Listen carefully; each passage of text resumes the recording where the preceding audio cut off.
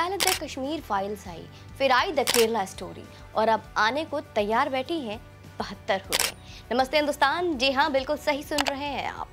आज तो ये बताना बहुत आवश्यक हो जाता है। कल देर शाम दो बार के राष्ट्रीय पुरस्कार विजेता और मशहूर निर्देशक संजय पुरन सिंह की फ़िल्म बहत्तर हुरे का ट्रेलर डिजिटल प्लेटफॉर्म पर आ चुका है दोस्तों। अब यह बात भला बताने की तो नहीं ही है कि जब से आई है Twitter Telegram WhatsApp Facebook YouTube हर जगह इसके ही चर्चे हैं। ट्रेलर की शुरुआत हुई है एक मौलवी के भाषण से। देख लीजिए, जो संभवतः मदरसे से दे रहा है। अपने भाषण में मौलाना साहब कहते हैं कि आप जिहाद के नाम पर लोगों का करेंगे। बहत्तर हुरे बहत्तर हुरे।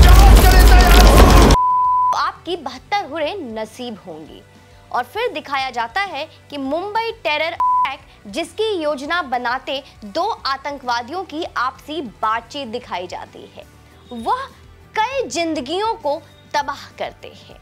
इसके बाद में आतंकवादी मार जाते हैं।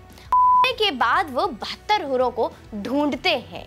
उनका राह तकते हैं, इंतज़ार करते हैं। लेकिन उन्हें कोई हूर लेने नहीं आती। फ़िल्म का ट्रेलर आने से पहले ही इसे लेकर पहले जो माहौल बनाया गया था, उसका खौफ सेंसर बोर्ड पर साफ़ दिख रहा है। नहीं तो जिस फ़िल्म ने आईआईएफटी के भारतीय पैनोरमा सेक्शन में अवार्ड जीते हो, उसे सेंसर सर्टिफिकेट ना देने का कोई ठोस नज़र नहीं आता। ठोस वजह नज़र नहीं आता। अब ये बस कह देना कि फला चीज़ आपत्तिजनक है या फला बात भावना को ठेस पहुँचाने वाली है, काफ़ी नहीं है ना? आपको तो मेकर्स को ये बताना पड़ेगा ना कि क्यों आपत्तिजनक है और क्यों सेंसर सर्टिफिकेट के लायक नहीं है। सात जुलाई को रिलीज़ होने वाली ये फ़िल्म इंग्लिश सहित दस अन्य भाषाओं में भी आएगी, जिनके नाम तमिल तेलुगु मलयालम कन्नड़ बंगाली भोजपुरी कश्मीरी मराठी और असमिया भी है। जिस बात पर आपत्ति जताते हुए सेंसर बोर्ड इसे हरी झंडी दिखाने से इनकार कर रही है वो कोई ऐसी बात तो नहीं जो पर्दे के पीछे की जा रही हो। हम सबने पाकिस्तानी पत्रकार आरज़ू काजमी और मौलाना साजिद राशिदी की वो बातचीत तसल्ली से सुन रखी है, जिसने आरज़ू साजिद रशीदी से कहती हैं कि हमारे यहाँ जो जन्नत का नक्शा खींचा गया है ना, कि वहाँ पर मिलेंगी, बहत्तर हुरे मिलेंगी, वो भी तो हमें अय्याशी का अड्डा लगेगा। या नहीं? मर्दों को बहत्तर हुरे मिलेंगी, ऐसी होंगी, वैसी होंगी, कपड़ों में भी बॉडी नज़र आएगी, वहाँ शराब पीने का कहा जाएगा। और तो और औरतों के लिए भी कुछ है या सिर्फ़ बहत्तर हुरों का ज़िक्र है? कि वो बहत्तर हुरों का जो बताया गया है मर्दों के लिए वो क्या है क्या वो अयाशी नहीं है? वहाँ पे और तो कुछ नहीं बताया। शराब होगी ड्राई फ्रूट्स होंगे। हमारे यहाँ के कितने लोग बताते हैं? तो ये सब क्या राशि नहीं है? इस पर साजिद रशीदी ने कहा कुरान में शराब की मनाही है, लेकिन जन्नत में शराब तहूर कहा गया है। यानी पाक पानी। अगर जन्नत में खुदा इसे दे रहा है तो इस पर ऐतराज नहीं होना चाहिए। पत्रकार ने पूछा कि मानो मैं इस्लाम के सारे नियम मानती हूँ तो मुझे जन्नत में जाकर क्या मिलेगा? औरतों के लिए क्या है। फॉर एग्ज़ाम्पल मैं बहुत अच्छे काम करती हूँ, सारे इस्लाम के रूल फॉलो करती हूँ। मैं जन्नत में जाऊँगी, मुझे वहाँ क्या मिलेगा?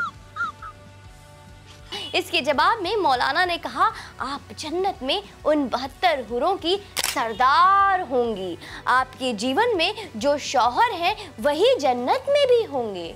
आप जन्नत में उन बहत्तर हुरों की सरदार होंगी? मौलाना के इस बात पर यूँ चुटकी लेते हुए आजमी ने क्या कहा था? आजमी ने कहा मर्दों के लिए बहत्तर हुरे और महिलाओं के लिए वही वाला शोहर। साहब मर्दों के लिए बहत्तर हो रहे और औरतों के लिए वही वाला शोहर जो यहाँ पर है ये तो बड़ी गलत बात है। औरतों अच्छा। को भी तो कोई चॉइस दीजिए ना औरतों के लिए भी कोई अट्रैक्शन रखिए। क्या औरतों का दिल नहीं है? ये क्या बात हुई? तौबा तौबा, ये तो बड़ी गलत बात है। क्या औरतों का दिल नहीं है? उन्हें भी कोई चॉइस दीजिए। क्या बात है? क्या कन्वर्सेशन है? मान लो शौहर नापसंद हो, किसी तरह उससे गुजारा कर लिया हो तो वहाँ जाकर वो फिर गले पड़ जाएगा। ये तो अजीब सी बात है ना? और आप? बहत्तर हुरे लेकर घूमेंगे।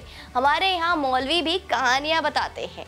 बहुत हसीन होंगी, ऐसी होंगी, वैसी होंगी। इस पर मौलाना ने कहा, ये सवाल मुझसे नहीं बनता।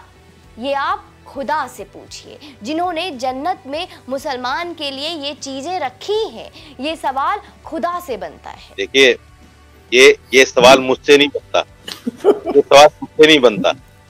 ये सवाल आप अल्लाह से कीजिए जिसने जन्नत में मुसलमान के लिए ये चीज़ें रखी हैं। ये सवाल अल्लाह से बनता है। क्योंकि नौजबिल्ला मैं तो दीन का खालिक नहीं हूँ। Wait a minute. Who are you? ये कन्वर्सेशन है दोस्तों और ये स्क्रिप्टेड नहीं है। हमने एक नहीं दो नहीं सैकड़ों से अधिक मौलानाओं की तकरीरें सुनी है जो जन्नत की हूरों की खूबसूरती के बारे में बताते हुए ना जाने क्या क्या बताते हैं। नाम है बैदख उसके ऊपर मोतियों की मोतियों से कवर्ड है वो। उसके अंदर मुश्क अंबर जाफरान काफूर बहता है। जब अल्लाह किसी जन्नत की लड़की को बनाने का इरादा फरमाता है तो अपने नूर की तजल्ली डालता है और पूरी 130 फुट की लड़की निकल के बाहर आ जाती है। वो जन्नत की लड़की सूरज को उंगली दिखा दे, सिर्फ़ फिंगर टिप दिखा दे तो सूरज नज़र नहीं आएगा। 1990 के दशक में एक पाकिस्तानी पत्रकार हुई, जिनका नाम है नसरा हसन, जिनसे उग्रवादियों फिलिस्तीन के कैंप में रहने वाले 250 संभावित बम्बर्स और उनके लोगों से बात की है, दोस्तों। अधिकांश आपको बता दूँ, अधिकांश उन्होंने धमाकों के दूसरी तरफ़ जन्नत है जैसी थ्योरी को सच मान रखा था। ना जाने कितनी फ़िल्में आई। शहादत की चाह रखने वाले युवाओं को बताया जाता है कि शहीद होने पर जो खून बहेगा, उसकी पहली बूंद उनके पाप धो देगी। वो जन्नत जाने के लिए अपने करीबी और प्रिय लोगों में से बहत्तर का चयन कर सकेंगे। वहाँ उनका स्वागत बहत्तर हुरें करेंगी। जो खूबसूरत अर्जन लड़कियाँ होंगी। माफ़ी चाहूँगी, यही सत्य है, इसलिए बताना पड़ रहा है। मरने से पहले खुद को बम से उड़ाने वाले तमाम आतंकियों ने लिखित बयान में ये भी कहा है कि ये दर्द रहित है और जन्नत तक जाने का छोटा रास्ता, यानी शॉर्टकट है। यूरोप का एक शहर है दोस्तों, बाली, जो टूर ट्रैवलिंग के लिए दुनिया भर में मशहूर है। वहाँ अमरोजी नाम के एक आतंकी ने एक नाइट क्लब में बमबारी की थी। जब उसे मौत की सजा सुनाई जा रही थी तो सुनवाई में उसने खुद को शहीद बताया। पैसे के लिए जितने लोग आतंकी बने हैं, उनसे अधिक संख्या उनकी है जो मौत के बाद एक काल्पनिक दुनिया की फंतासी में आतंकी बनते। कई बार ये भी देखा गया कि आतंकी पढ़े लिखे अच्छे खासे खाते पीते परिवार से होते हैं और सिर्फ़ जन्नत और जन्नत की हुरों की चाह में वो आतंकी बनते हैं।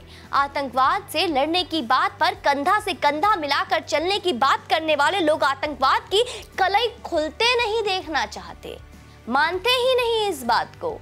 अब ये वक्त है भारत सरकार के तय करने का कि आप सच में आतंकवाद से जुड़ी हर जड़ को डालना चाहते हैं या बस पत्तों की छटाई से ही खुश है। अगर इरादा इसे खत्म करने का है तो ऐसी अवेयरनेस फ़िल्मों की समाज को बहुत आवश्यक है। तो ऐसी फ़िल्मों को अवश्य आने दे।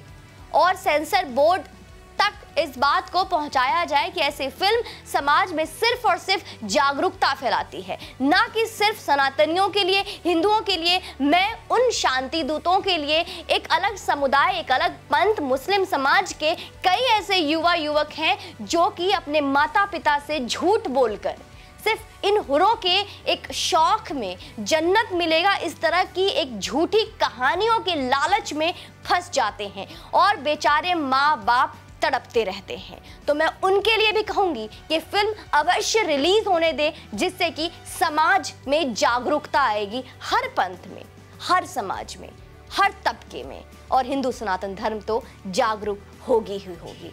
जय हिंद, वंदे मातरम। और हाँ जाते जाते आज जो त्यौहार है उसके लिए मैं आप सभी को बहुत बहुत बधाई देना चाहूँगी और मैं आशा करती हूँ कि बेचारे किसी मासूम की हत्या किए बिना, कोई बलि चढ़ाए बिना आप भी ये त्यौहार पीसफुली मनाएँगे, जैसे कि हम कम पटाखे फोड़कर दीपावली मनाते हैं और कम पानी की बर्बादी करके होली का त्यौहार मनाते हैं। तो जैसा उपदेश आप हमें देते हैं, आशा करूँगी कि आप लोग भी हर पंथ, हर समाज, हर तबका ऐसे उपदेश को खुद एक्सेप्ट करेगा। जय हिंद, वंदे मातरम हैश टैग सेव एनिमल्स